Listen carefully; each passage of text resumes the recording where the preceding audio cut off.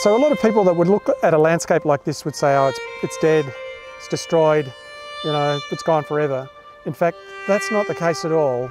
I see a disturbed environment like this as undergoing a natural process of recovery.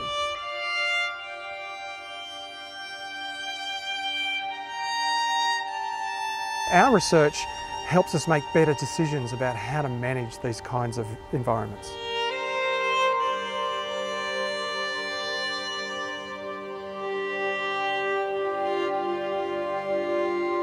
We're in Booderee National Park and we're conducting long-term monitoring surveys for fire studies. Um, so today we've been doing mammal trapping and we're looking to see what animals we've got in various um, habitat communities. Today we caught both um, marsupials and non-marsupial mammals, so eutherians. Um, we've had long-nosed bandicoot, which is becoming quite rare. Booderee National Park is the south coast of uh, New South Wales.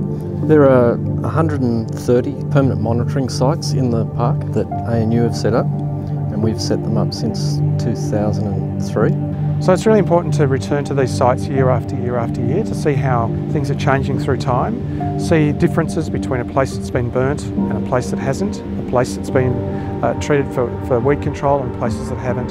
So that the data that we collect are fundamental to making good environmental decisions and that will be important to maintain the fabric of these beautiful places for the next 10, 20, 30, 50, 100 years.